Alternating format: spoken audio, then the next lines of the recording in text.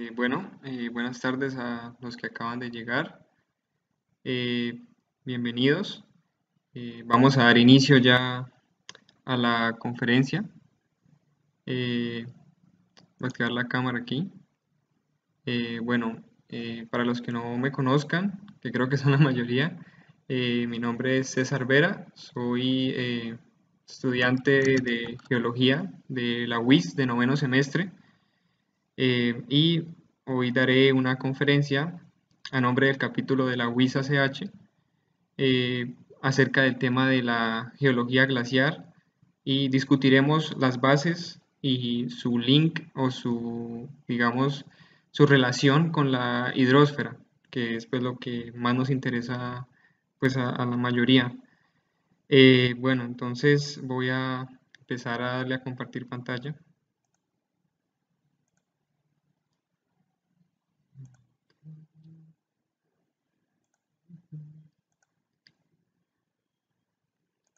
Eh, ¿Ahí me escuchan bien? ¿Se ve bien? ¿Sí se ve la presentación? Sí. Eh, si la puedes colocar en modo presentación. ¿Ahora sí? Perfecto. Listo. Bueno, muchas gracias. Listo, vamos a dar inicio. Eh, bueno, entonces esta idea pues surge como digamos, eh, una forma de compartir el conocimiento, eh, ya que, digamos, yo estuve en un periodo de intercambio en la Universidad de Quebec en Montreal, donde vi eh, la asignatura de Geología Glaciar y pues, digamos, quedé pues a mi regreso a, Colombia, quedé con la idea de, de compartir, digamos, de realizar una conferencia eh, acerca de, este tema que pues es muy interesante y que muchas veces en, las diferentes escuelas de geología, eh, digamos, es un tema que no se toca tan a fondo, ¿sí? Entonces, pues, bueno, vamos a ello. Bueno, los temas a desarrollar eh, son principalmente cuatro, ¿sí? O sea, este tema es muy denso y da para mucho, pero pues ustedes entenderán que pues es muy difícil, sí, sintetizarlo todo. Entonces, pues intenté eh, poner lo más básico y pues aquello que se relaciona con la hidrogeología, ¿no? Entonces, eh, bueno, el primer tema va a ser el hielo y los glaciares, que van a ser conceptos básicos. Eh, el segundo es el balance de masas, donde pues entenderemos y aprenderemos que estos son cuestiones de ganancias y pérdidas. la hidrogeología glaciar y el rol del agua en la dinámica glaciar y finalmente, pues eh, los recursos glaciares o pues digamos qué se asocia a los glaciares. Eh, bueno, entonces empezamos. Eh, bueno, entonces como muchos pues serán familiares con este gráfico, este pues es un, digamos, un esquema del ciclo del agua, donde digamos observamos las diferentes etapas.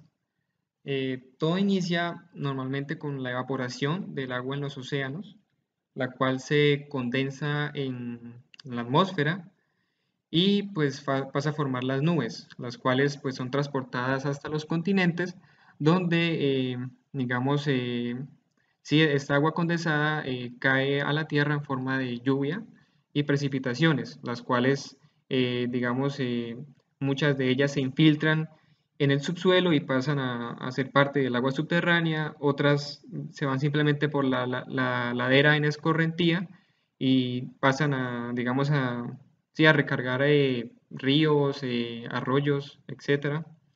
Pero también hay una proporción considerable que, digamos, se precipita en forma de nieve y se acumula en forma de hielo en los polos y en eh, los glaciares o pues los las montañas, eh, digamos, de altura, altura considerable, donde, digamos, la temperatura es lo suficientemente fría como para mantener de forma permanente, pues, estas, sí, esta, esta, esta nieve y convertirla en hielo. Bueno, entonces a la derecha tenemos un esquema donde observamos, eh, digamos, eh, que del 100% de agua que existe en el planeta, solo el 2.5% es agua dulce y de ese 2.5% solo eh, digamos casi el 70% corresponde a agua congelada. Entonces, como podemos ver, eh, digamos el volumen o la repercusión de, esta agua, digamos en forma de nieve, eh, en forma de hielo, pues es bastante considerable, ¿sí? ya que, digamos, digamos pertenece o, o, pues hace parte de, digamos, del agua dulce o potable que se puede consumir. Bueno, entonces aquí empezamos ya en materia. digamos el hielo y los glaciares. Entonces aquí yo puse una imagen que resume las, principales masas glaciares y su distribución a nivel global. Eh, digamos, la mayoría se encuentran en los polos, como pues ustedes se podrán imaginar, eh, sobre todo en la Antártica, eh, también en la parte del Polo Norte, como al norte de Canadá, en Groenlandia, ¿sí? al, norte de Europa, pero también hay una gran proporción, pues una proporción también de glaciares que son glaciares de alta montaña que se encuentran en lo que son las cordilleras, como la cordillera de los Andes, eh, la cordillera del Himalaya y eh, las montañas rocosas o, los Alpes, ¿sí? Entonces eh, aquí pues yo resumí, digamos, agrupé pues estas masas glaciares en tres categorías. La primera es aquella que se encuentra en el Ártico, que digamos corresponde a un 10% del volumen de hielo sobre la Tierra aproximadamente. Eh, la segunda categoría son, digamos, las regiones extrapolares, que como su nombre lo dice, son todas aquellas que están fuera de los polos, que, digamos, tiene una proporción eh, bastante, sí, o sea, bastante reducida, que es de 0.5% eh, respecto al volumen de la Tierra. Y la tercera categoría, que es la Antártida, que, digamos, corresponde a un 89.5% del volumen de hielo sobre la Tierra, o sea, lo cual es, sí, es, es enorme. Eh, porque pues ustedes como habrán escuchado en algún momento, pues esto es, la Antártida pues es un continente que pues está congelado y que tiene grandes masas de hielo en su, pues en su superficie y en, ciertas zonas. Bueno, aquí también puse eh, como una proporción para entender esto mejor, como digamos unas cifras pues, donde dice que aproximadamente 2.4, eh, digamos en Groenlandia, que es como la zona más representativa del Polo Norte, digamos, se tiene eh, aproximadamente 2.4 millones de kilómetros cúbicos de volumen de hielo, mientras que en la Antártida esto pasa a ser 30.1 eh, millones de kilómetros cúbicos de volumen de hielo. O sea, ahí ustedes pueden ver la, la, la diferencia abismal entre, entre Groenlandia y la Antártida. Bueno, entonces ahora, digamos, ustedes se pueden hacer una pregunta, pero bueno, ¿qué es un glaciar? Eh, ¿Sí? Entonces, eh, ¿qué se entiende por glaciar? Entonces tenemos tres aspectos que, digamos, están en la definición. El primero, pues, es que es una masa de hielo perenne, es decir, que es permanente a lo largo del año, que ocupa un lugar más o menos vasto y está representado por un reservorio de agua. Eh, otra parte de la definición es que, digamos, son formados, los glaciares son formados por transformación o densificación de la nieve en hielo. Este proceso, pues voy a explicárselos un poco más eh, más adelante. Y eh, porque muestran evidencias de formación interna. ¿sí? Esto es porque los glaciares, pues no son algo estático, sino son, digamos, algo que está en constante movimiento. ¿sí? Eh, más adelante aprenderemos o pues entenderemos por qué. Bueno, eh, los glaciares, para pues todos aquellos que, hayan visto eh, geomorfología, si están estudiando, si son estudiantes de geología o una carrera fin, los glaciares, pues en geomorfología se dice que son agentes de sedimentación y de erosión al tiempo. ¿Por qué? Porque como podemos ver en las imágenes, por ejemplo en la imagen superior, que es de un valle, eh, los glaciares a medida que se desplazan, pues estos van, digamos, esculpiendo o modificando el terreno, ¿sí? Modificando el paisaje, más bien. Entonces, una geoforma característica y que es asociada a la erosión glacial son los valles en U, que es como el que podemos observar en la parte superior, en la imagen, de, la imagen superior. Y en la imagen inferior a esta eh, tenemos eh, un depósito de til, y es que los glaciares, así como erosionan, también, digamos, depositan, depositan material que van arrastrando a lo largo de su movimiento y estos depósitos, pues, digamos, se definen eh, como tiles y están conformados por materiales de diversos orígenes, eh, normalmente pues son fragmentos de rocas que tienen, o sea, digamos, son, tienen sus bordes angulados, ¿sí? no son redondeados, como por ejemplo los, los que encontramos cuando vamos al río, que sí son muy redondos, en cambio estos no, estos son más bien, sí, más bien esto, con ángulos puntiagudos y todo esto, porque han sido, han sido transportados en suspensión por el glaciar.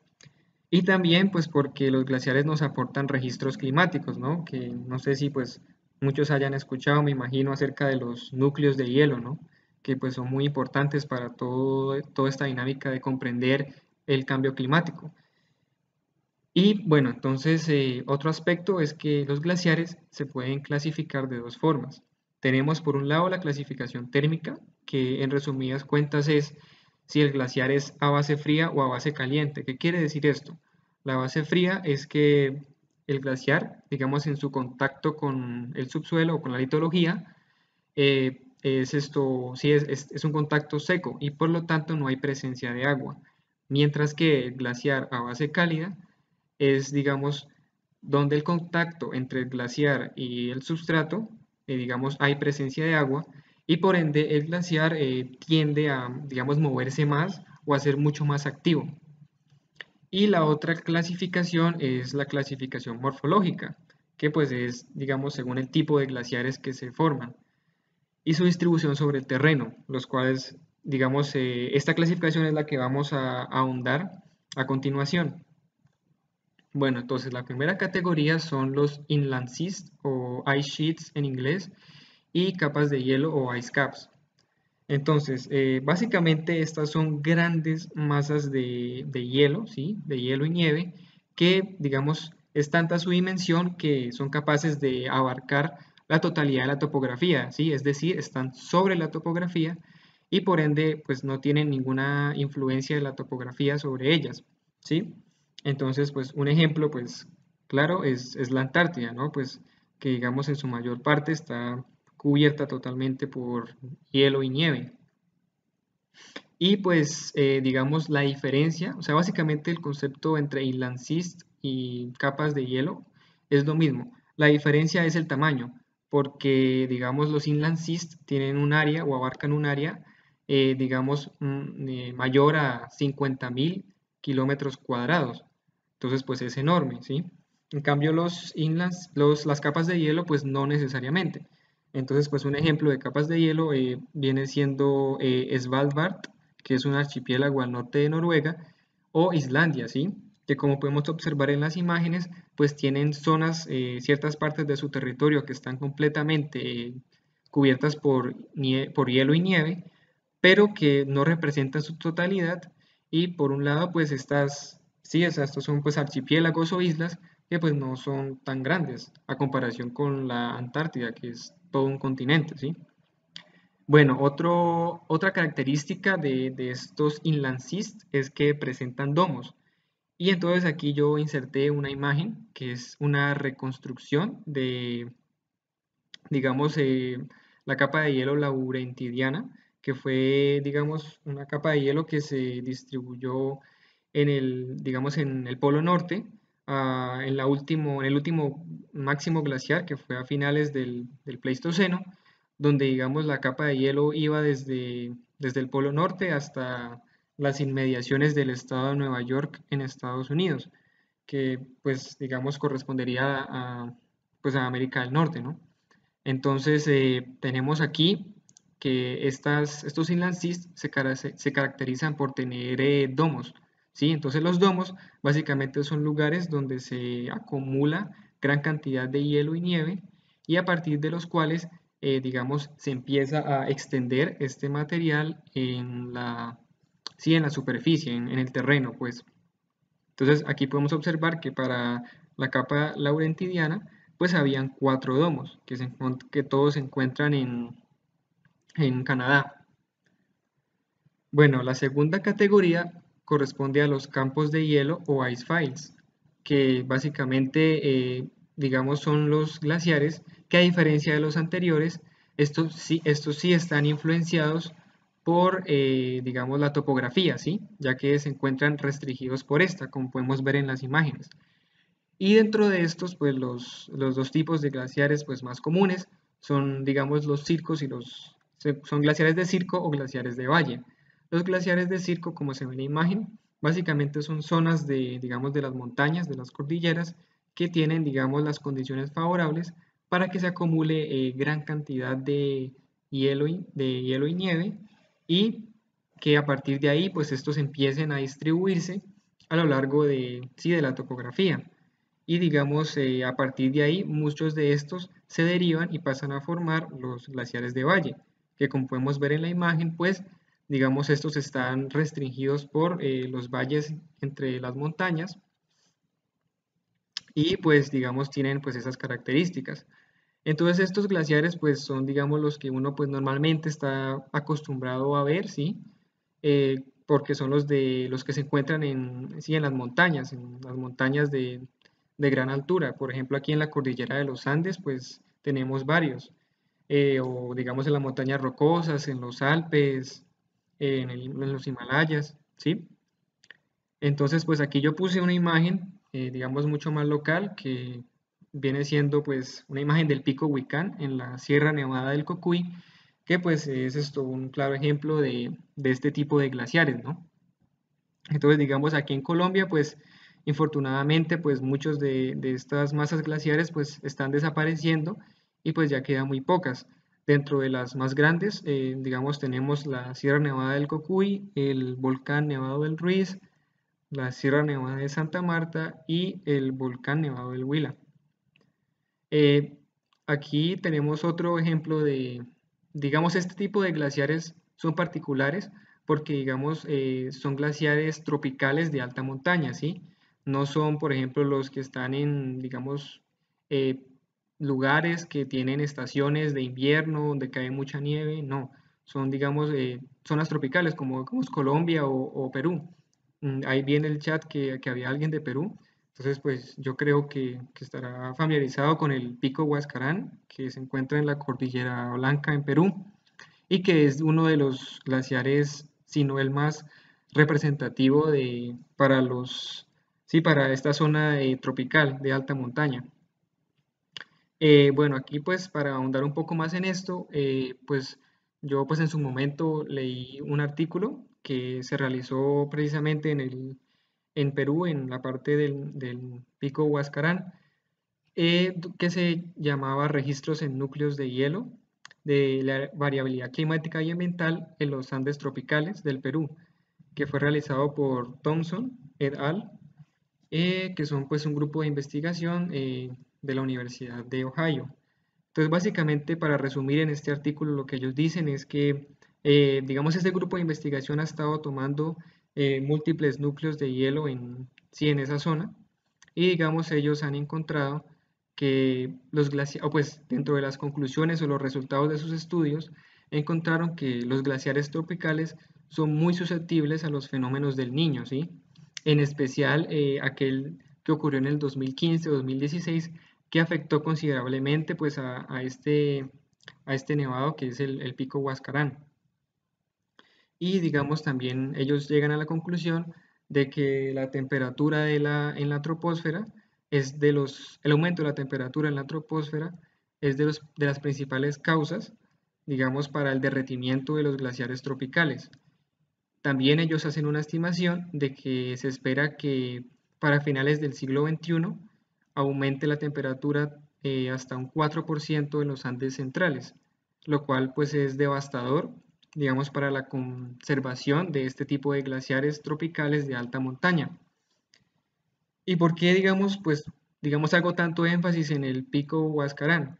Porque, digamos, eh, en este mismo artículo, ellos decían que, digamos, este, este lugar representa o pues tiene almacenado en los registros de hielo casi 20.000 años de historia climática, ¿sí? Entonces, por ende, pues, digamos, eh, si, pasa el tiempo y pues siguen las predicciones como, pues como se han hecho, pues esto va a terminar desapareciendo y pues se va, digamos, a perder todo ese registro climático para esta zona de los Andes centrales. Bueno, eh, ya dejando por un lado esto, eh, llegamos a la tercera categoría que vienen siendo los glaciares de extensión, que como su nombre lo indica, pues es básicamente cuando, digamos, se pasa de una zona de alta pendiente o de alto relieve a una zona, pues, digamos, más llana o más esto, una planicie, ¿no? Entonces, pues un ejemplo muy típico, eh, digamos, son los glaciares de Banquisa, que es como el que observan en la imagen, que esta es la Ross Ice Shelf de la Antártida. Ahí a la derecha podemos ver su ubicación y como podemos ver, pues es un glaciar que llega y, eh, digamos, entra pues como en una especie de, sí, como una especie de desembocadura en el océano, ¿no? Y pues se observa de esa forma. Sí, o sea, tiene, digamos, un espacio eh, llano para crecer y pues aumentar su tamaño considerablemente. Tenemos los ice streams, que básicamente pues son eh, ríos de, hielo, como su nombre lo indica, que digamos tienen el mismo concepto que los glaciares de valle, ya que son pues grandes masas eh, glaciares que están pues confinadas en un valle, pero entonces a diferencia de los anteriores pues el valle pues es mucho más reducido y pues digamos estos cuentan digamos, a estar pues tan apretada esta masa de hielo, pues tienden a aumentar su velocidad, ¿no? Por eso es que se llaman ice streams.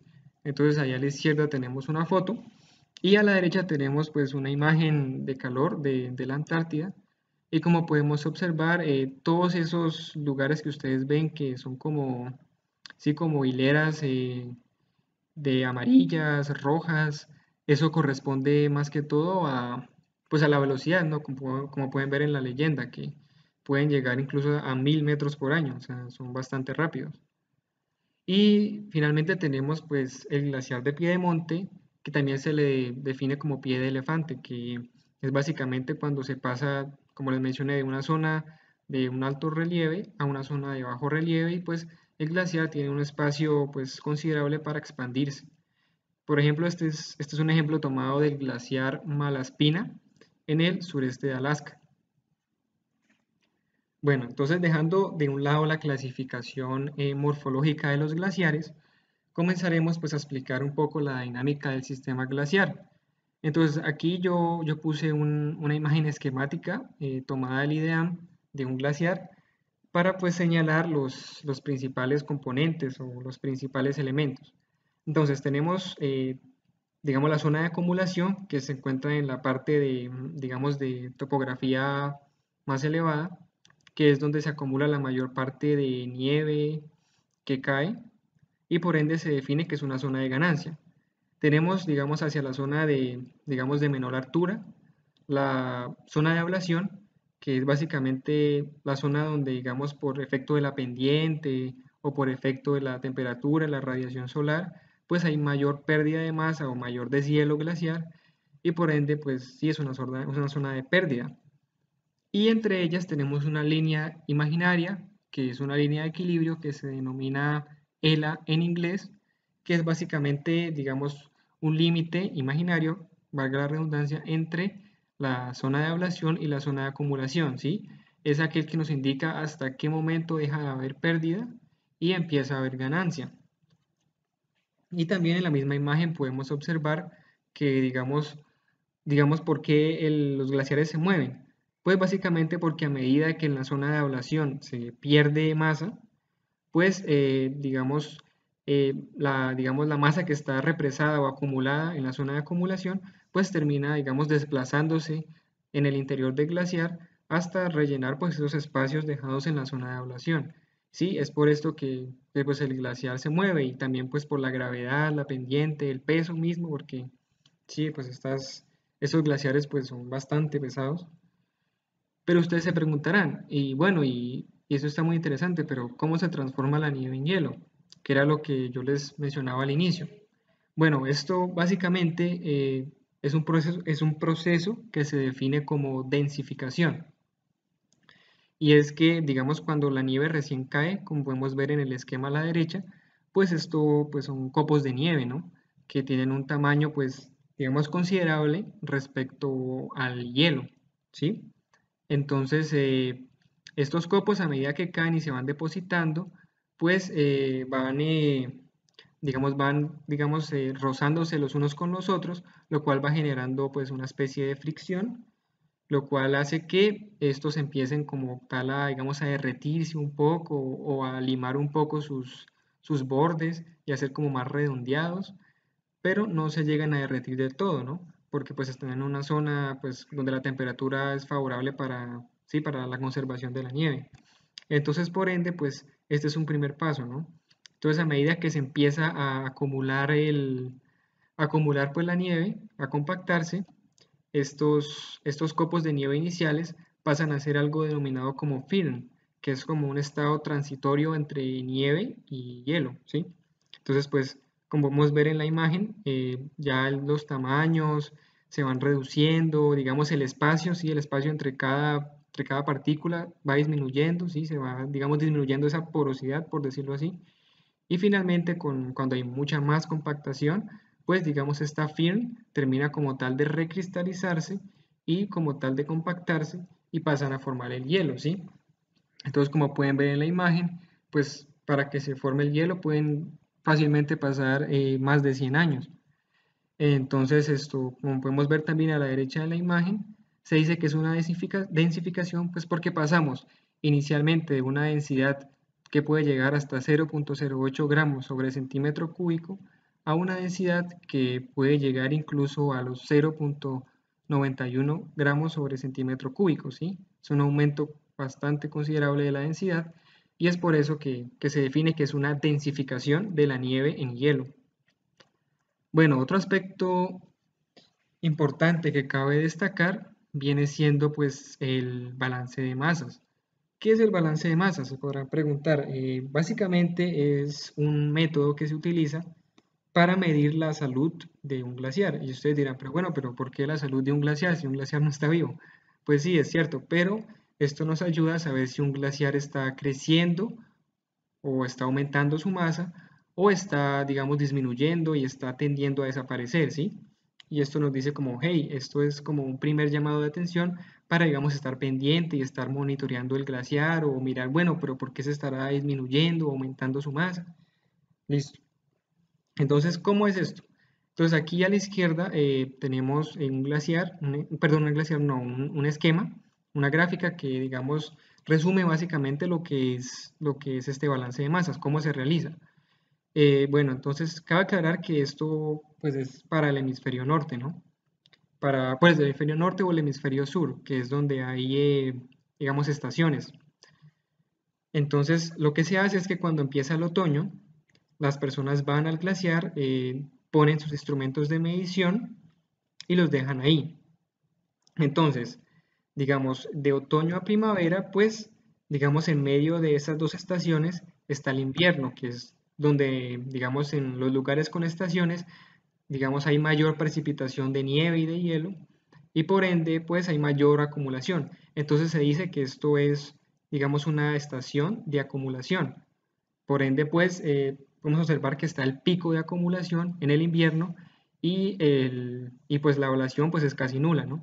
Entonces, listo, las personas van, ponen sus instrumentos de medición en el otoño, estos se quedan ahí, pasa el invierno, cae toda la nieve y luego pues en la primavera, cuando la temperatura empieza a aumentar, pues ellos van otra vez y revisan esto que marcó la medición, ¿sí? Entonces, listo, van, toman los datos, listo, lo dejan ahí otra vez. Entonces, en la primavera, pues la temperatura empieza a aumentar, porque pues vamos a llegar al verano, ¿no?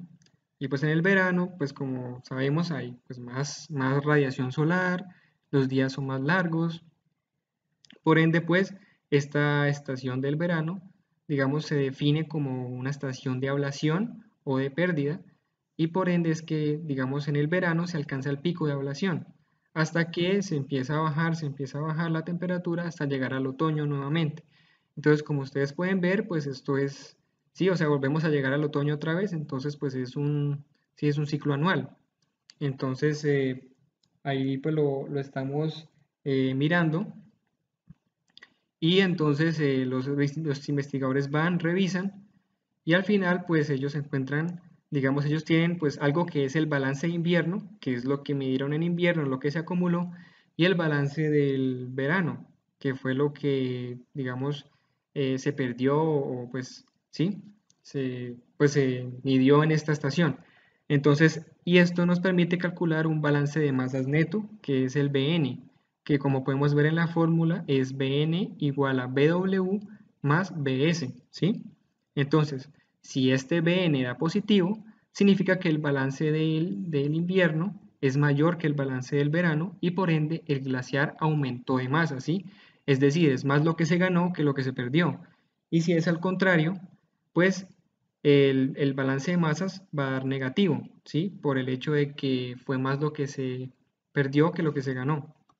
Entonces, bueno, pues esto es como la teoría como tal, pero pues como yo sé que esto puede ser muy confuso, entonces aquí a la derecha pues puse como unos ejemplos, Entonces supongamos que nosotros vamos y vamos a realizar las mediciones en el, digamos, en el glaciar A.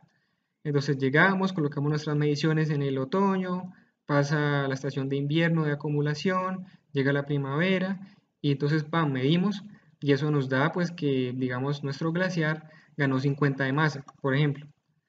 Luego pues llega el verano, llega la, sesión de la estación de ablación, se acaba y pues llega nuevamente el otoño. Entonces vamos a revisar y tenemos que se perdieron eh, pues una pérdida de, de 150 de masa, ¿sí? Entonces, pues al hacer nuestro balance, tenemos que en la zona de acumulación, que en la estación de acumulación entraron 50, mientras que en la estación de, de ablación se perdieron sí, menos 50. Entonces, pues hacemos nuestro balance y esto nos da menos 100. Es decir, nuestro glaciar, nuestro glaciar perdió, perdió masa y pues está en valores negativos. Es decir, está, digamos, eh, sí, está decreciendo. Mientras que digamos que al siguiente año vamos a hacer el balance de masas en el mismo glaciar, pero esta vez digamos el valor en la estación de acumulación nos da 150, mientras que en la, estación de, ablación nos da 50. Entonces tenemos 150 de entrada menos 150 de salida, esto nos da 100 eh, de ganancia. Por ende, pues nuestro glaciar está creciendo en, el segundo año, ¿sí? Y pues, pues aquí cabe aclarar que, estos, estos 50, 150 que yo dije, pues son, digamos, como tal no son de masa, sino son, eh, se cuantifican en equivalentes de agua implicados, ¿sí? Pues en, equivalentes, en milímetros de equivalente de agua es que se, digamos, se miden, pues. Entonces aquí tenemos eh, los principales mecanismos que, digamos, generan acumulación o ablación. En, dentro de la acumulación se destacan las avalanchas, que pues pueden traer gran cantidad de masa glaciar de un lado a otro, pero también pueden ser una causa de pérdida, ¿no? Porque si digamos, si estamos en nuestra zona de acumulación y hay una avalancha y se pierde masa, pues, pues sería de pérdida. Y también la nieve y el hielo. Pues obvio, todas las precipitaciones que van cayendo pues son favorables. Y las principales causas de ablación pues vienen siendo los desprendimientos o la deflación, que viene siendo pues, eh, pues la masa de hielo que se desplaza y se va perdiendo. Y también otro factor que influye en la ablación viene siendo pues las fuentes energéticas, como es la radiación solar, el aumento del flujo de calor, ¿sí? Entonces pues son factores a considerar. Eh, bueno, aquí en cuanto a cómo se calcula un balance de masas, que fue el método que les acabé de explicar, eh, pues tenemos dos tipos de métodos. El método directo, que es el más fiable, que es básicamente medidas en el terreno, que se define como método estratigráfico, y los métodos indirectos, que básicamente pues son, eh, sí, como con fotogeología, teledetección, incluso hay uno que son con cálculos de balance hidrológico en la cuenca congelada, es decir, pues en el glaciar. O sea, es medir pues básicamente cuánta agua cae al fin, cuánta agua sale en la estación de ablación y pues hacer una proporción pero pues todos estos métodos indirectos pues igual deben ser eh, corroborados por los métodos directos para así tener digamos datos de terreno que nos respalden lo que interpretemos eh, y básicamente pues aquí tenemos a la izquierda pues digamos una, una gráfica de Excel que pues es un ejemplo pues un ejercicio que yo hice en su momento de un balance de masas donde digamos en el eje Y se encuentra digamos estos valores de 0, 200, 400, 600 esto pues es la altura eh, del glaciar. Digamos, eh, en, el eje X, a la derecha del 0, pues es, digamos, valores de acumulación y a la izquierda del 0, pues son valores de ablación. Entonces esto, como podemos observar, la línea azul, pues corresponde al balance de invierno. Y como pueden ver, en todos los puntos donde se midió, hubo pues acumulación, ¿sí? Todos los valores están positivos, por encima de cero. Mientras que en la curva gris, que es el balance de verano, como podemos observar, todos los puntos que se midieron están pues en pérdida, están en ablación, ¿sí? Hubo pérdida de masa. Entonces al final, cuando esto se cuantifica y se suma y se da pues el balance de, el balance pues el, balance neto, el balance anual, pues esto nos da que, digamos, la distribución del glaciar. Por ejemplo, en la línea pues naranja que corresponde al balance neto, podemos observar que, digamos, desde 1000 hasta el 600, en el eje vertical, pues, digamos, se ha acumulado en esos puntos, hay acumulación, es decir, estamos en la zona de acumulación de nuestro glaciar, mientras que en, digamos, en, debajo del 600 ya pues estamos en ablación, ¿sí? Todo eso pues es masa que se ha perdido del glaciar. Y eso se define como gradientes de balance de masas. Eh, bueno, en cuanto a los ejemplos de los balances de masas, aquí tenemos uno que es para un glaciar. Digamos, esto es lo que se observa al final, ¿no? Es como una gráfica donde podemos observar, ah, no, sí, miren, por ejemplo, en el 1980 se ganaron eh, casi 3.000 eh, milímetros de equivalente de agua. Ah, no, pero en el año, en el 1978 se perdieron eh, menos 1.000 milímetros de equivalente de agua, ¿sí? Entonces, pues básicamente esto es lo que se genera o lo que se entrega al final, luego de hacer el balance de masas anual. ¿Sí? Entonces, pues esto nos permite hacer pues una comparación año por año para poder monitorear y estudiar nuestro glaciar mejor. Entonces, esta en particular es de un glaciar de, de Alaska, que es el glaciar Wolverine. Eh, este de aquí pues es un, digamos, un, digamos un resultado de un balance de masas realizado pues en la Sierra Nevada del Cocuy por el IDEAM aquí en Colombia. Como podemos observar, eh, tristemente pues la mayoría de los años que se han realizado el balance de masas, pues esto ha arrojado pérdidas. Entonces, pues esto que nos indica, pues que el glaciar, pues digamos, si hay procesos eh, o que están afectando mucho al glaciar y que pues por ende hay que ponerle mucha atención porque está perdiendo mucha masa, a pesar de que en los últimos años pues ha ganado, ¿no? Y pues como les mencionaba anteriormente, pues esta, el glaciar del Cocuy, la Sierra Nevada del Cocuy, como pues está aquí en, pues en, los, en, la cordillera oriental de Colombia, pues esto es un glaciar tropical de intramontaña. Entonces, eh, este tipo de glaciares, como están en zonas donde no hay estaciones tan marcadas como en los hemisferios norte y sur, pues la dinámica es similar, digamos, en cuanto a las estaciones de acumulación y de ablación, en el sentido en que en las estaciones de acumulación, pues estas no corresponderían pues como tal al invierno donde cae nieve y todo eso, pero pues donde hay mayor precipitación en, digamos, en, en la zona, ¿sí? En, digamos, por ejemplo, pues en Colombia y en la estación de ablación, que es donde se pierde masa, correspondería más que todo a, pues a los periodos donde hay más sequía, donde no hay casi precipitaciones y donde hay más radiación solar. Sí, eso sería pues más o menos una equivalencia para los glaciares de, para hacer el balance de masas en los glaciares eh, de, tropicales de alta montaña. Bueno, en cuanto a las formas sedimentarias glaciares, pues aquí ya vamos a cambiar un poco de dinámica y pues eh, vamos a entender un poco qué geoformas se asocian a, los glaciares, ¿sí?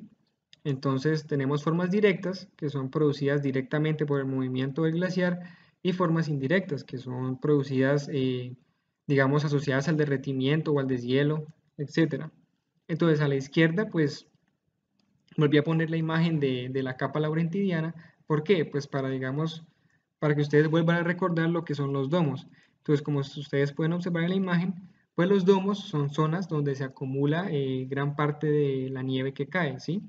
Entonces, pues una es una gran cantidad y entonces a partir de ahí es que, digamos, esta nieve y este hielo pues empieza a, digamos, a expandirse en el terreno. Entonces, aquí a la izquierda, a la derecha, perdón, puse un, pues un esquema, una gráfica, donde podemos observar, digamos, en azul oscuro el domo, que es donde se acumula digamos el domo, pues ahí ustedes imagínense, pum, ahí llega la nieve, se acumula ahí y luego empieza a extenderse en lo que viene ahí como en azul eh, un poquito más claro, que es la zona proximal, ¿sí? Que es, digamos, es la zona que está próxima al domo y donde la nieve que estaba retenida en el domo empieza a expandirse y luego pasa de la zona proximal a la zona distal, que es ya mucho más alejada de este, y digamos que es la que está en celeste, y es cuando empieza a, digamos, a ver mucha más esto, digamos, eh, la masa glaciar empieza como a disminuir su velocidad, a disminuir su lentitud, a pues a ser mucho más lenta, y finalmente pues hasta llegar a la zona de ablación, ¿no? Que es donde pues deja de, pues de, acumularse y empieza a derretirse. Entonces, como pueden ver, eh, el desplazamiento es desde el domo hasta la zona de ablación, ¿sí? Entonces, pues tener en cuenta esto. Entonces, eh, dentro de las formas más destacables tenemos los drumlins, que digamos en la imagen de la derecha pues hay un acercamiento, que son estas formas alargadas y que son paralelos a la base del glaciar, ¿sí? Cuando el glaciar se va desplazando, pues estas geoformas se van produciendo y digamos esto se produce porque el glaciar, eh, digamos en, en, esta parte que es la zona proximal, pues va con mucha más velocidad. Eh, aquí podemos observar a la izquierda pues un campo de drumlins porque normalmente no se encuentran así pues aislados, sino son un campo de ellos y digamos estos son muy comunes en la parte de Canadá, ¿sí? en la zona de Canadá, sobre todo en, el estado de Alberta, si no estoy mal. Eh, bueno, las morrenas son otra, otro tipo de geoformas que son más, más asociados a la zona distal, ¿sí? ya más alejados del domo, cuando el glaciar comienza a disminuir su velocidad, comienza como a, ¿sí? como a ralentizarse un poco, y por, esto, y por eso estas geoformas, a diferencia de los drumlins, son eh, perpendiculares al desplazamiento de la base glaciar. ¿sí? Entonces aquí se destacan las crestas morrénicas, que son las de la izquierda, y a la derecha observamos también morrenas terminales o laterales, que son pues las que se producen cuando pues el glaciar, digamos, se finaliza la zona de acumulación y se llega como tal a la zona de ablación, que es donde hay pérdida. Eh, aquí tenemos otras geoformas que son pues las indirectas, donde encontramos, eh, digamos, principalmente los eskers, que son este, como estas acumulaciones o estos montículos serpenteantes que pueden alcanzar eh, varios kilómetros, que es la imagen de la izquierda, y que son producidos por infiltración de agua en la base del glaciar a medida que éste se va moviendo. Más adelante pues explicaremos un poco más a fondo esto. Y a la derecha pues los lagos glaciares, que son aquellos que se producen eh, pues en la superficie glaciar por efecto de, sí, del deshielo o de la radiación solar. Y ahora pues venimos a hablar de la hidrogeología glaciar. Entonces aquí hay que tener en cuenta que son tres fuentes de agua principales en los ambientes glaciares. Dentro de ellas destacamos las, digamos, en la, fuente de agua supra, intra e infra. En la parte supraglaciar, como les mencionaba anteriormente, tenemos pues todos los canales supraglaciales, todos los lagos que se forman en la parte superficial del glaciar y que estos eh, se van, digamos, infiltrando hacia la parte, hacia la parte interior del glaciar, ¿sí? Ya en la parte interior, como podemos observar en la imagen de la izquierda, pues eh, la infiltración va, digamos, a ser mucho más efectiva o no, dependiendo de la cantidad de redes o conexiones o tubos, pues tuberías, pues entre comillas, que haya dentro del glaciar, ¿sí? Y con tuberías, pues yo me refiero a, pues a un concepto que se define como la plomería glaciar, entre comillas, que viene siendo pues toda esta serie de conductos que son de tipo cárcico kárstico como los de la imagen que se pueden formar al interior de un glaciar. ¿Y por qué? Pues por la cantidad de agua que se empieza a infiltrar desde la superficie y que con el tiempo pues y gracias a la permeabilidad va abriendo estos conductos. Y pues esto está dictado por el flujo hidrodinámico, ¿no? Pues pasamos de una zona de mayor altura del glaciar en la superficie a una zona de menor altura en la base. ¿Y qué controla pues el tamaño de estos conductos? Pues básicamente pues es la dinámica entre la presión del agua y la presión del hielo, ¿sí?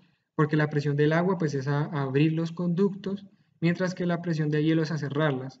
Pero pues si tenemos gran cantidad de agua superficial, pues esto genera un gran caudal que se infiltra y por ende pues los conductos se van a abrir y se van a ampliar. Entonces, claro, entre mejor interconectado esté un glaciar en su interior, pues más rápido va a llegar el agua a profundidad, ¿sí? Que es pues en la zona infraglaciar, donde a veces podemos encontrar túneles infraglaciares, donde, digamos, eh, se destacan principalmente dos tipos eh, de túneles que se pueden llegar a formar.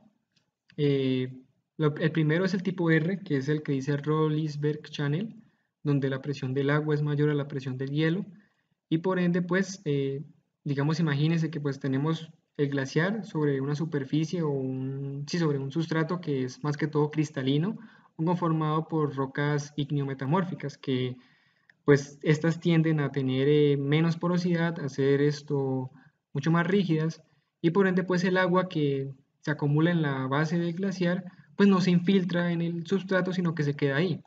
Por ende tienden a desarrollar pues esos eh, drenajes, de, esos sistemas de conductos o drenajes detríticos en la base y forman la, las geoformas que, la geoforma que yo les hablé anteriormente, que son los eskers. Mientras que los, los canales tipo N, donde la presión del agua es menor a la presión del hielo, estos se dan porque el glaciar está sobre una litología pues mucho más sedimentaria o como con sí, sobre sedimentos no consolidados. Entonces pues como estos tienen mucha más porosidad y permeabilidad, pues el agua se puede infiltrar y por ende, eh, digamos, genera pues, digamos, esta actividad erosiva en la parte pues infrayacente al glaciar. Bueno, aquí en cuanto al tiempo de residencia glaciar, como podemos observar en la imagen, esto se puede medir, eh, digamos, colocando pues los tintes especiales en la parte de, en el agua o en los lagos superficiales glaciares y pues se contabiliza hasta que salga al interior del glaciar. Entonces, pues esto suele variar de algunos días algunos meses, dependiendo de qué tan bien interconectado esté un glaciar o más bien de qué tan buena sea su plomería glaciar. Y las consecuencias de todo esto, pues es que ahí pues entendemos cómo el agua transporta, cómo los glaciares transportan agua desde su superficie hasta la base y por qué, digamos, si un glaciar está, pues es un glaciar, digamos, sujeto a altas temperaturas, eh, pues tiende a generar mucha más agua. Bueno, aquí otro aspecto viene siendo las descargas masivas y rápidas de agua o debacles, que es básicamente eh, grandes inundaciones que se generan por causa de los glaciares y es cuando digamos tenemos agua acumulada en superficie, por ejemplo en lagos o canales glaciares, la cual digamos por algún motivo tiende a infiltrarse y a drenarse rápidamente. Entonces, si el glaciar está muy bien interconectado, pues esta agua tiende a llegar mucho, mucho más rápido a la base y pues si llega tanta agua en poco tiempo, pues el glaciar no resiste y digamos se rompe o se quiebra y genera pues lo que vemos en las imágenes, que son pues inundaciones con, con bloques de hielo y material que se transporta. Esto se define en inglés como Glacier Lake Outburst Flood o este, esta palabra en islandés que es el Jökulhlaup, que pues básicamente lo mismo, y básicamente estos eventos pues se pueden, digamos, comparar o asociar con eh, los lahares, que no sé si ustedes lo hayan, hayan, escuchado este concepto, pero los lahares también pues son eh, un tipo de movimiento en masa que, digamos se caracteriza por presentar una mezcla de agua de, y de varios, materiales, especialmente ceniza glaciar, ¿sí?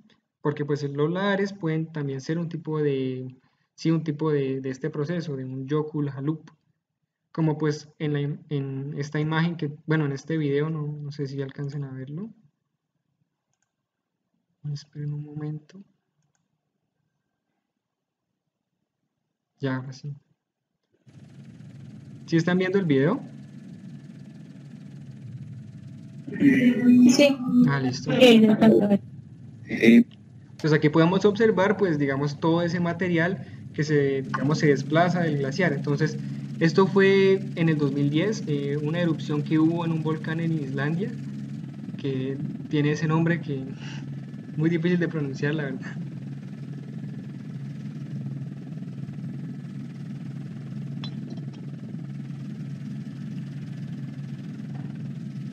Entonces, como ustedes pueden observar, pues a medida que, digamos, eh, el volcán erupciona, pues todo el hielo, toda la masa glaciar que estaba, en, digamos, recubriendo el volcán, pues termina derritiéndose y, termina, pues, digamos, cayendo, pues, digamos, viajando pendiente abajo hasta las zonas, pues, de menor pendiente y produciendo, pues, un riesgo y un problema para las comunidades aledañas. Eh, digamos, eh, un evento así fue lo que pasó aquí en Colombia. Eh, en, digamos, en el siglo pasado, en el 1985, el 13 de noviembre que ocurrió una erupción del volcán Nevado del Ruiz, donde pues pasó esto mismo, eh, la masa de hielo que ven ahí a la izquierda se derritió y por ende pues todo este material que era ceniza, con agua, con, sí, con, con, todos, con todos estos fragmentos, eh, pues terminó digamos viajando pendiente abajo y digamos eh, inundando y arrasando con el pueblo de Armero, dejando pues más de 25 mil víctimas, lo cual pues digamos este tipo de procesos que son asociados pues a la dinámica glaciar y pues en este caso a los volcanes, pues, eh, pues es algo que digamos tenemos que ponerle mucha atención pues porque es un evento o es, es un riesgo geológico eh, muy alto. Y en cuanto a los recursos asociados a los glaciares, para terminar, tenemos los núcleos de hielo, o ice cores en inglés, que como ustedes habrán escuchado, a estos se les define comúnmente como la biblioteca de la Tierra. ¿Por qué? Pues porque en ellos albergan información, eh, digamos, muy valiosa para diferentes eh, investigaciones que se realizan a nivel planetario, ¿sí? especialmente para establecer proxies, que es esto, índices climáticos en diferentes épocas. ¿Y por qué? Pues porque dentro del, del hielo pues hay isótopos de oxígeno, de carbono, de nitrógeno, eh, sí, que se asocian a diferentes épocas y también incluso hay ceniza de volcanes, sí, es por eso que muchas veces se han, logrado datar eh, eventos volcánicos a nivel planetario, eh, gracias a, a los núcleos de hielo que reportan, digamos, cenizas para esos periodos. también los glaciares tienen interés para la arqueología y la paleontología. no sé si ustedes hayan escuchado que, se encontró pues en los Alpes, eh, en los Alpes se encontró una momia de un humano que data hace como de 5.000 años, que estaba, excelente, que estaba muy bien conservada, que estaba pues en, en, excelente estado, y pues a esta momia se le llamó Otzi, y digamos eh, tenía incluso pues eh, restos de su última comida en el estómago y sí, incluso los investigadores lograron eh, determinar por qué era que había muerto en base a su excelente estado de preservación. Y esto es gracias a que el hielo pues aísla pues a la materia orgánica del exterior y permite que se conserve. Mm, aquí pues a la derecha tenemos otro ejemplar que se descubrió en Siberia, que es un mamut que también está muy bien, una cría de mamut que está muy bien preservada y, tiene incluso hasta fragmentos de pelo. Eh, otra utilidad, eh, pues son, digamos, las kimberlitas en el hielo, pues en los depósitos glaciares. Eh, esto, pues, no es en todos lados, esto depende de la litología, ¿sí? del sustrato rocoso. Por ejemplo, pues en Canadá, que es donde, digamos, se ha reportado esto, pues digamos, como, como vimos en la presentación, pues en un momento, pues esto, esta, casi la totalidad del territorio canadiense estuvo cubierto de hielo, pero pues hay ciertas partes en, digamos, del sustrato canadiense que están conformados por las, algo que se llama los Kimberlite Pipes, que son pues eh, unos, unos tubos que vienen desde el interior de la Tierra, pues como, sí, como unos tubos aproximadamente, que digamos eh, sacan o digamos, se expulsan eh, gran cantidad de material, donde, donde ellas, no, sí, entre ellas están las kimberlitas, que, digamos, contienen eh, diamantes, que, digamos, y muchas veces estos diamantes que se depositaron, pues, fueron arrastrados por los glaciares y finalmente depositados junto con los tils asociados al movimiento glaciar, como podemos observar en la imagen de la izquierda. Y también, eh, pues, encontré un artículo donde decían que en varias, en algunas zonas de la Antártida, digamos, habían reportado la presencia de kimberlitas y, digamos, la posible evidencia de que habían diamantes debajo de, pues, de varias capas de hielo. Y pues otro aspecto es, digamos, las reservas de gas metano que, digamos, se asocian a los depósitos glaciares y que, digamos, están acumuladas en estos y que muchas veces datan de miles de años, ¿sí? y que, digamos, pueden llegar a representar una utilidad, pero también representan un peligro, pues un peligro no tan específico, pero representan un problema y es que, digamos, actualmente, gracias al cambio climático, pues eh, se genera pues más deshielo, más desprendimiento y por ende pues este gas metano que está acumulado en los glaciares se libera a la atmósfera y pues tiende a aumentar el efecto de invernadero, ya que el gas metano pues es, incluso tiene un poder, de, un poder de efecto invernadero mucho más fuerte que el del CO2. Sí, entonces pues es algo que hay que ponerle atención y pues hay que, digamos, estudiarlo mucho más a fondo. Y pues muchas gracias, eso es lo que tenía para compartirles hoy. Eh, síganos en nuestras redes, en el Facebook, la IAH Colombia, capítulo WISACH, en nuestro Instagram. Y pues también si, pues, si quieren volver a ver la presentación o conocen a alguien que, pues, que no la vio, que no la pudo ver, pues vamos a subir esta presentación en el canal de YouTube de la IAH. Ahí pueden observar la, dirección y pues gracias por su atención. No sé si tengan algún tipo de pregunta, eh, algún tipo de comentario, los, los escucho. Eh, hola César. Eh, sí. Yo soy estudiante de la Universidad de Caldas y también estamos haciendo un proyecto sobre una reconstrucción paleoglaciar Naval Ruiz. Quería preguntarte sobre el último máximo glaciar, qué sabes sobre él y si se puede relacionar como el último máximo glaciar, por decirlo así, de Canadá, el de Colombia, o eso varía eh, en cuanto cambie también las latitudes.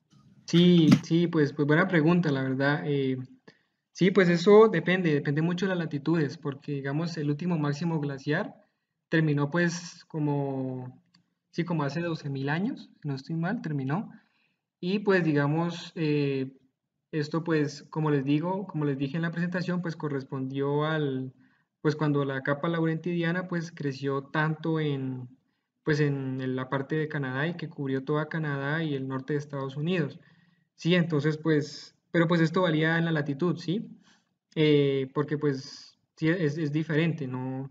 Digamos pues, como pues en su momento pues yo vi eso para, pues para Canadá, por lo que estaba pues de intercambio allá, pues me explicaron fue, digamos, para esa zona, ¿no? Para esa zona de América del Norte. Para la zona aquí de Sudamérica, pues no, pues si no, no tendría pues un conocimiento, pero pues yo imagino que, que sí debería, digamos, los glaciares debieron de haber, digamos, tenido pues mayor impacto, un mayor, una mayor distribución. O sea, digamos, tengo entendido que, incluso hay zonas de, digamos, aquí en Colombia, en el macizo de Santander, incluso tenían capas de hielo en, ese último máximo glaciar. Eh, sí, entonces pues habría que, pues, que revisar. Mm, listo, César, muchas gracias. Podrías dejar tu correo también ahí como en los comentarios. Sí, sí, sí, voy a anotarlo una vez. Gracias. Sí, pues si necesitan información o algo por el estilo, pues, pues yo les puedo suministrar. Eh, no sé si tengan más preguntas o más comentarios. Ya, ya la leo. Dice, ¿cómo describiría el panorama de esta disciplina en Colombia? Pues, bueno, aquí pregunta Jaime Marulanda Trujillo. Bueno, pues, pues la verdad, como yo decía al inicio, pues esto pues es, complicado, digamos, en el hecho en que, por ejemplo, pues, eh, digamos, es un tema que por lo menos yo pues considero que no está tan, o sea, como tan difundido o tan, sí, o sea, como tan hablado, tan, sí, tan comentado en las diferentes eh, escuelas de geología a nivel de Colombia pero digamos es, algo, eh, digamos, muy importante y que, digamos, nos repercute a todos, ¿sí? Porque, como mencionaba, los, los glaciares están desapareciendo en Colombia y pues por más que sea, por más que, digamos, ya puedan llegar incluso a estar condenados y decir, no, si ya no podemos hacer nada, ya no los podemos rescatar, igual pues digamos hay que medirlos, hay que, lo que yo les decía del balance de masas. Digamos en Colombia pues está el IDEAM que realiza pues el inventario y el balance de masas de los glaciares de aquí, pero pues es bueno saberlo porque, como les mencioné, esto puede, digamos, el deshielo súbito, pues tiene problemas para, digamos, eh, digamos movimientos en masa o avalanchas que se puedan presentar, eh, Ares, cosas por el estilo. Entonces, pues yo creo que es bueno que, en Colombia se, sí, se, se, inculque más en las escuelas este tema de, de, la glaciología, ¿sí? de la geología glaciar, porque pues digamos es algo que nos compete a todos y Incluso también pues para extraer núcleos eh, de pronto en el hielo y para establecerlos y analizarlos y pues hacer proxies, pues me parece que sería muy interesante. Eh, no sé si tenga más preguntas. Creo que pues eso es lo, lo que respondería a la pregunta de, de la persona de Jaime Marulanda. No sé si, si haya más preguntas, más comentarios.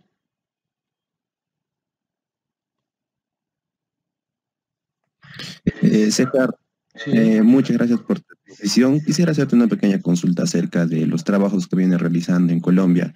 Se realizaron trabajos acerca de la investigación en lo que es núcleos de hielo, ya que como tú dices, cada año se va perdiendo la información de los glaciares que guardan una valiosa información. Entonces, ¿sabes o estás enterado acerca de algún trabajo que viene realizando? Pues esto, si se han realizado, han han sido muy pocos, la verdad, pues porque no, o sea, la verdad no, no estoy al conocimiento de eso, no.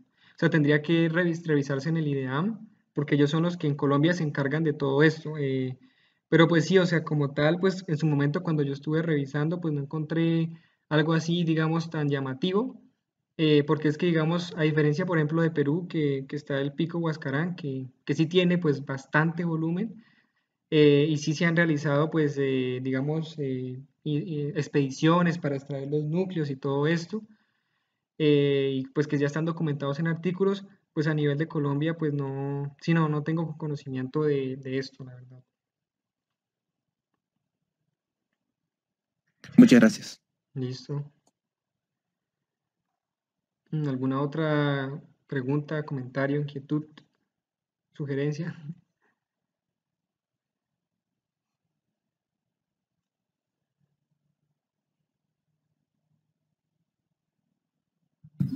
César, hay más en el chat. Ah, qué pena. Dice, la dinámica de glaciares rocosos comparada con glaciares blancos es muy distinta. ¿Y sabes cuál es la condición de, los, estos glaciares rocosos? Eh, esto, ¿a qué, te, ¿A qué te refieres con, con glaciares rocosos y glaciares blancos? Eh, Sebastián Ledesma. No, no sé si, tengas... O sea, si, te refieres a los glaciares rocosos, los glaciares que están en, las montañas, los glaciares intramontaña, y los glaciares blancos, los inland seas o, los que están sobre la topografía, no, no sé si, si sea eso. Pues si es eso, eh, pues digamos la diferencia es esto básicamente que, digamos, lo que yo mencionaba era que los inland seas o las capas de hielo pues abarcan una, digamos un gran espacio y un gran volumen, incluso sobre la topografía, y pues esto sí depende, depende de, la ubicación, ¿sí? Por ejemplo, pues aquí en el trópico pues no tenemos las condiciones para, para que se formen este tipo de masas glaciares tan enormes, como si pasa en los hemisferios norte o incluso en el hemisferio sur, ¿sí?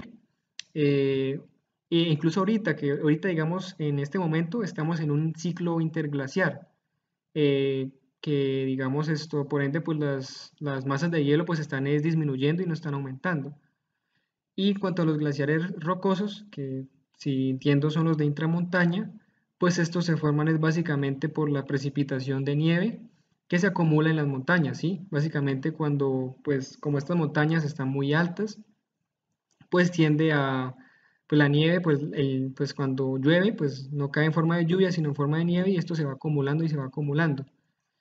Eh, sí, sería más que todo eso. Y todo, como les digo, va, muy de la mano de la, latitud y de, como tal, del clima que haya, ¿sí? Porque es que yo también en esta presentación iba a hablar un poco de, los ciclos glaciares, ¿sí? En cuanto a, digamos, eh, los, por qué hay ciclos glaciares, por qué interglaciares, pero pues no, no alcanzó el tiempo, entonces pues me tocó, digamos, cortar ese pedazo porque si no se extendía demasiado la, presentación, porque como les digo, eso es un tema muy, muy amplio. Dice aquí, ¿qué es el permafrost? Existe... Ah, bueno, el permafrost es como una capa del suelo que está, digamos, eh, digamos, está congelada, ¿sí? Digamos, imagina tú la parte superficial del suelo, pero pues está congelada, sí, está congelada permanentemente. Por eso se llama permafrost. Y pues Normalmente esto está más asociado hacia las zonas, eh, hacia las zonas, eh, digamos, del hemisferio norte, por allá en Siberia o al norte de Canadá, cerca de los polos, donde, digamos, sí, es un clima pues muy frío a lo largo del año y el invierno pues es muy riguroso, entonces pues sí, la temperatura se mantiene para que esté congelado. En los Andes, pues yo creería que tal vez en, sí, en las partes más altas de los Andes de pronto, de pronto también en, en, Argentina, en Chile, perdón, de pronto sí, en la frontera Argentina-Chile, pues de pronto puedan haber. Dice aquí, ¿se conoce con algún nivel de confiabilidad la pérdida de masa en Colombia? Sí, sí, digamos hay, hay un artículo que yo leí esto, esto hace, hace dos años que hablaba eso, que digamos eh, los glaciares en Colombia pues digamos están prácticamente casi todos en pérdida y digamos muchos de ellos ya están condenados a desaparecer, o sea, ya es cuestión de años, cuestión de 5 o 6 años para que ya no existan. Y digamos en el IDEAM es donde está registrado todo eso, ahí hay gran cantidad de información, eh, ¿sí? donde ellos dicen eh, cuáles glaciares ya se extinguieron, cuáles se van a extinguir, eh, balances de masas que se han realizado, ¿sí? qué resultados han arrojado esos balances de masas. Entonces, pues sí, si, si, tienes pues más inquietudes, Jaime Marulanda Trujillo, puedes consultar en la página de IDEAM, pones IDEAM glaciares en Google y pues ahí te aparece. Dice aquí, en Chile tenemos glaciares rocosos que están en alta montaña. Sí. Ah, bueno, sí, obvio, pues eso depende. O sea, eso depende de, digamos, de qué tan, qué tanto sea el volumen de agua que cae, de hielo que caiga, de nieve que caiga, pero pues es diferente, sí, porque digamos, los inland o las capas de hielo que yo mencionaba al inicio, pues estos o tienen un aspecto de, digamos, de distribución o de área mucho más grande, ¿sí? En cambio, pues los glaciares de los glaciares rocosos que tú dices, que están en alta montaña, pues por lo general no, o sea, sí no son, no son tan extensos, como digamos sí podrían ser los aquellos que se encuentran en, en digamos, en, al norte de Europa, o en Islandia, o en Groenlandia, o al norte de Canadá. Dice, se realizan estudios de modelamiento hidrogeológico para ver el comportamiento de agua en los golfos. Sí, pues, pues digamos, eh, esto es lo que debería hacerse, ¿no? Es algo que debe monitorearse y si no estoy mal, ese fue uno de, las, de los pecados, por decirlo así, que cometió pues Colombia con la tragedia de Armero, porque no se monitoreó bien lo que pasaba con, si no se, no se monitoreó bien el estado del, del volcán Nevado del Ruiz y digamos el riesgo que podría representar una erupción para las comunidades aledañas. Entonces sí, eso, eso debe estar en, un constante sí, estudio y pues digamos, como yo les decía, que incluso hay balances hidrológicos que se le hacen a los glaciares y se determina pues cuánta, cuánta agua puede extraerse o cuánta agua puede salir por causa de la ablación. Dice, ¿puedes compartir material sobre la Ah, ok voy a guardar el correo de Hernán Pavón y listo ¿tienes alguna recomendación de bibliografía de geomorfología y estratigrafía glaciar? Eh, sí, sí, pues si quieres Pablo Morales, no sé si se habrá ido ya, pues puedes dejar eh, tu correo, así como hizo, como hizo Hernán Pavón y yo puedo mandar referencias o libros que tenga en la bibliografía para pues complementar. Eh, ¿Quién más? Listo. Podrías, ah bueno, lo mismo, eh, Laura Rosana, otro curso básico. Ah, bueno, pues dices de otro curso básico, pues, pues sí, o sea, pues podría plantearse, ¿no? Otro curso por parte aquí del capítulo, no sé si, pues habría que, realizar. Eh, habría que revisar porque, como yo les decía, ahí esto, hubo gran parte, hubo pues mucha información, que es, digamos, relevante, sobre todo aquello de los ciclos glaciares e interglaciares, que no alcancé a, compartir, ¿sí? Que no alcancé a presentar aquí, por lo que les digo, es un tema muy extenso y por ende, pues, eh, sí se hacía muy largo, entonces, eh, pero pues sí podría verse si se puede realizar otro curso básico para, sí, un curso básico, pues podríamos, eh, pues ahí estar pendientes y, y sí, el correo ya vi que lo mandaste, Laura Rosana, entonces eh, ahí podría mandarte información. ¿Cómo se logra medir el retroceso glaciar? Preguntan aquí. Ah, bueno, Lina Pecho. Bueno, pues eso es como yo, lo que yo les mencionaba, que era lo de por el balance de masas, ¿sí? porque digamos lo que se hace es que las personas van, lo que ellos decía, ellos van en, en, el inicio de la estación de acumulación, que en el hemisferio norte es el otoño, ponen sus, sí, o sea, eso es un medidor, eso es como, imagínate tú como, por decirlo así, una vara o, o, un esto, sí, o sea, como un instrumento así, como un bastón, que es muy largo y eso se, digamos, se inserta en el terreno hasta que se toca, pues, el, o sea, si se inserta en la nieve, pues, hasta que se, se inserta o se, digamos, se hace contacto con, con el sustrato, ¿sí? Y eso, pues, tiene ahí diferentes mediciones. Entonces, como yo te decía, ellos van, ponen eso en, en, en, sí, en otoño, empieza la estación de acumulación, llega la primavera, van, miden, luego lo dejan ahí otra vez, empieza la estación de ablación, llega el verano, vuelve a llegar el otoño y ellos vuelven a medir, ¿sí? Ellos vuelven a medir otra vez y pues obviamente lo, lo que había pues en la última vez que midieron pues ya no va a ser porque acaban de venir de la estación de ablación y sí, eso va a bajar. Entonces pues ellos lo miden nuevamente y como yo te mencioné que era el, el balance de masas es Bn igual a B, BW que es el balance de invierno más BS que es el balance de verano y pues con eso se, sí, se halla, pues, se, se mide cuánto, cuánto, eh, sí, cuánto perdió y, y, pues cómo retrocedió. Y, y, otra forma de medir el retroceso, eso se hace es por, eh, por teledetección, ¿sí? por, por, fotografías aéreas, y específicamente por, o sea, como por, por, por tiempo, digamos, ellos dicen, no, vamos a monitorear el glaciar en, 1900, en fotos que tengamos de 1960 luego en 1970, 1980 y así y ellos van mirando pues hasta dónde llegaba pues digamos la superficie glaciar y con eso pues ellos dicen como no, sí, esto, el glaciar pues estaba retrocediendo. Eh, dice aquí, dice, bueno, Pablo, ¿sí? Eh, quería como también como hacer un comentario respecto a la pregunta de Linda Pecho. Eh, lo que tú dices es como una una forma de medir el avance y retroceso glaciar, pero en, procesos actuales o recientes, recientemente geológicamente hablando. Pero si queremos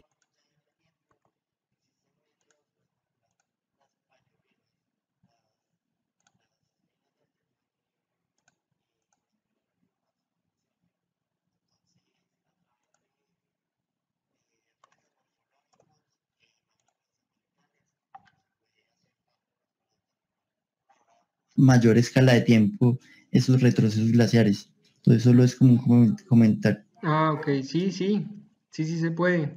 Pero pues eso vendría ya más... ¿Cómo? Metodología de laptop. ¿Cómo decía?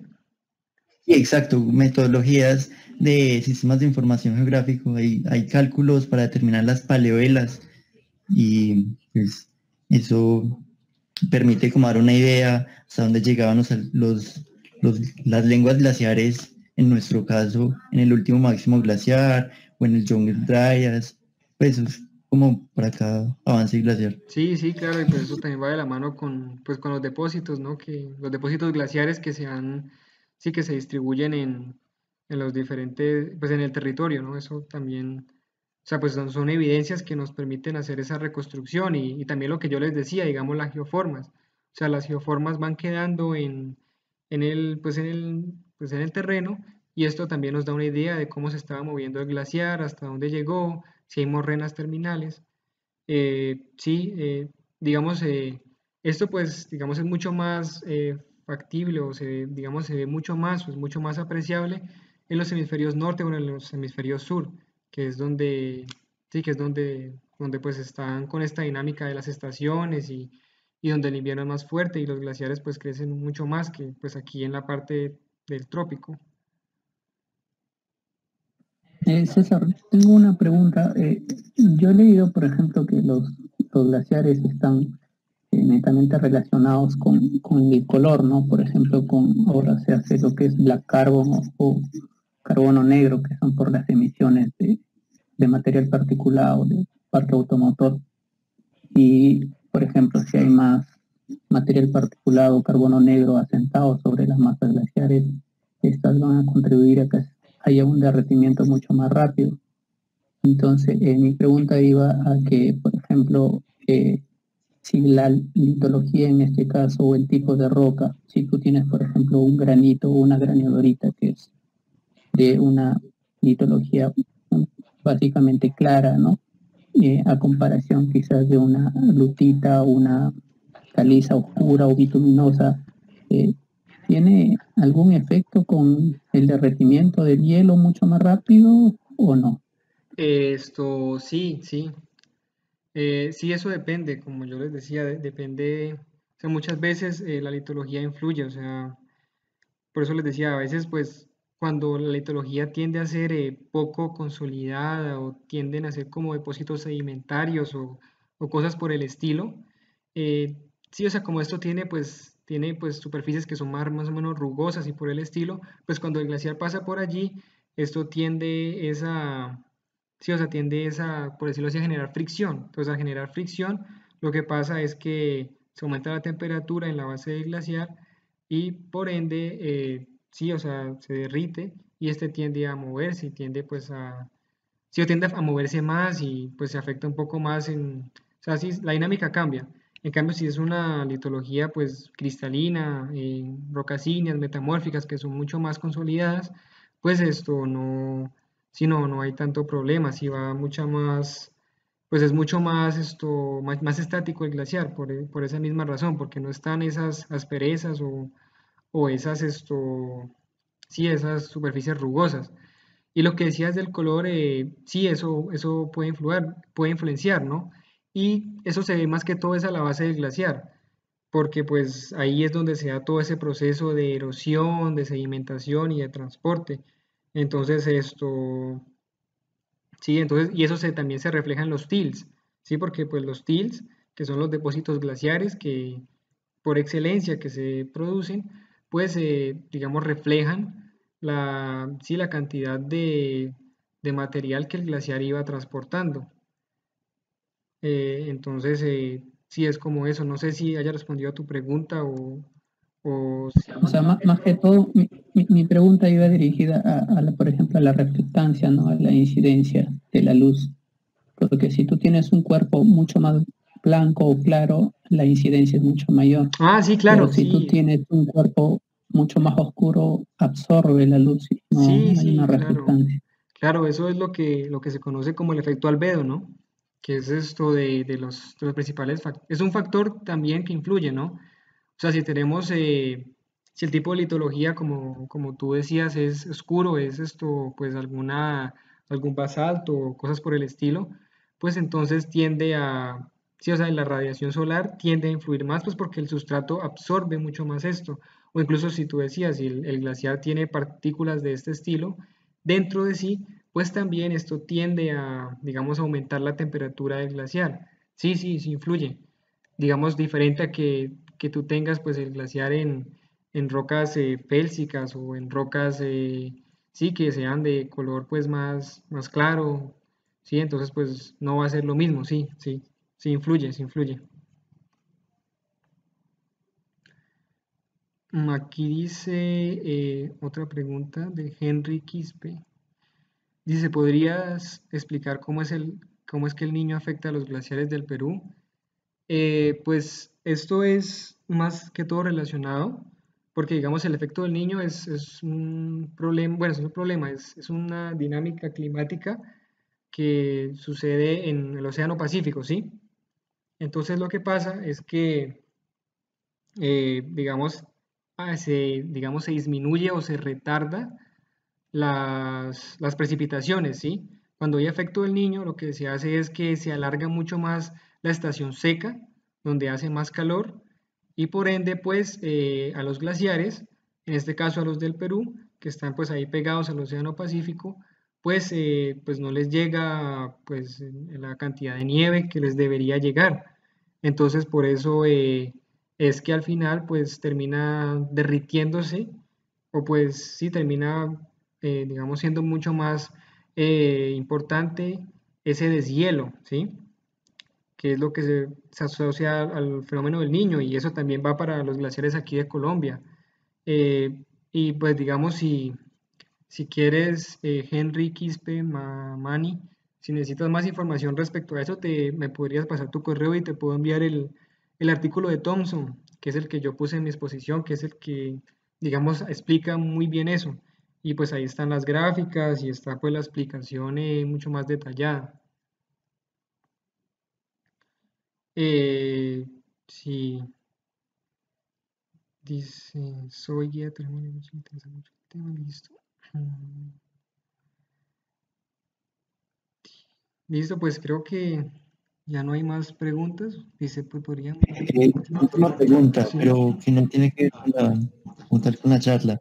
Eh, la, Asociación de Hidrogeólogos eh, está abierta como para que los estudiantes nos inscribamos o cómo funciona eso.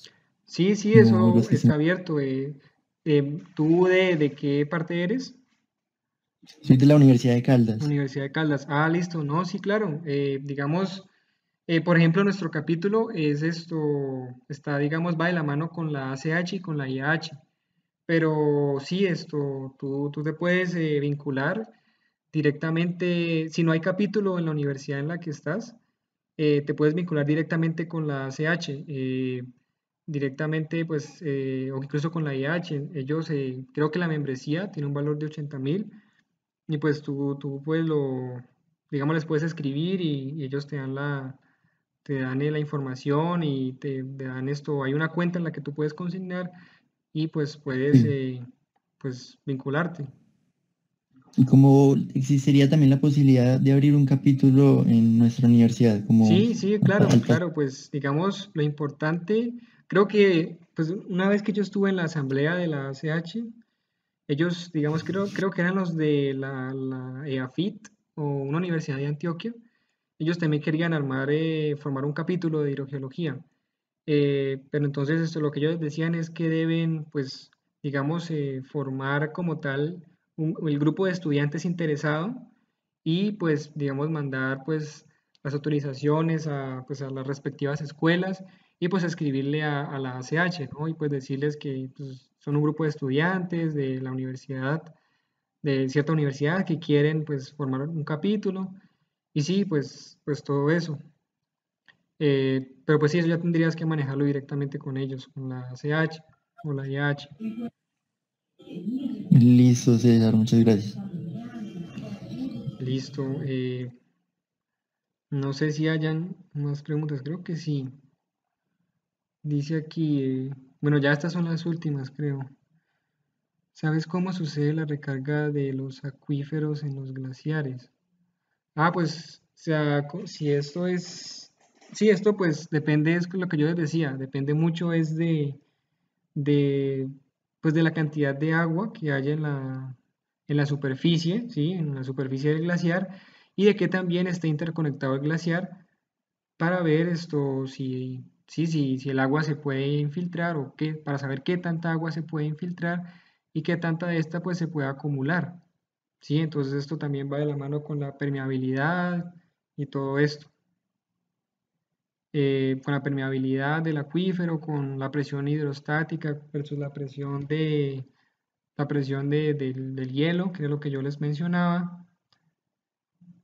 Y esto, bueno, pues aquí dice la última, dice cómo se comporta en el invierno en zonas con glaciares de montaña la recarga en acuíferos cuando la precipitación es siempre sólida y es donde se acumula nieve. Pues en invierno, como, como es la zona de ablación, la zona, perdón, la zona de acumulación, pues no tiende a haber tanta recarga, ¿sí? Esta recarga es más esto, o sea, es más acentuada en la, en la que, en la parte de, de la estación de ablación, que vendría siendo pues el verano, ¿sí? Pero pues en invierno pues no es tanto, por lo que, por lo que hace, pues la temperatura disminuye y lo que hace es pues que cae mucha más nieve y se acumula, ¿sí? Eh, entonces sería como eso, pienso yo. Dice, buenas noches, de pronto tienes información sobre cómo influyen los ciclos de Milankovitch en los glaciares. Sí, de hecho, Manuela González eh, Holguín, sí, sí, sí tengo. De hecho, pues yo iba a hablar de eso en esta presentación, pero pues no alcancé por lo que les mencionaba, que, el tiempo pues se hace, pues sí es muy corto y entonces pues no alcancé como, como a, sí, a explicar todo lo que yo pensaba. Se podría ver si se hace otra charla o pues sí, simplemente te puedo compartir información. Si estás interesado en leer, entonces eh, podrían dejar tu correo. Sí, sí, listo. Eh, ah, bueno, pues yo creo que ya serían esas las preguntas. Como dice ahí Lina, pueden escribirle a Luis Camilo Suescún, que es el vicepresidente de la ACH, por si, sí, por si les interesa eh, como saber más acerca de, de la dinámica para vincularse y formar un capítulo. Y también nos pueden seguir en nuestras redes sociales, ¿no? Voy a compartir, voy a compartirlas, voy a compartirlas por aquí por el chat, para si les interesa. Para, pues ahí publicamos información. Eh, por si les interesa saber más o si quieren hacer más preguntas, nos pueden contactar por ahí. Eh, sí, igual por la presentación, como les digo, va a quedar en, YouTube. Eh, entonces, pues si les interesa, pues pueden, y pueden revisar y pues nos pueden escribir. No sé,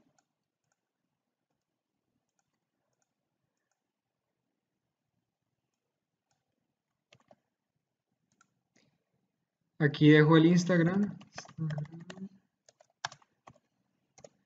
Y pues también dejo el Facebook de la IH, ¿no? Para que pues si en próximas charlas o eventos pues eh, se pues se enteren, así como esta. Pues normalmente pues ahí hacen múltiples eventos de todo pues relacionados con la hidrogeología. Entonces pues sí, para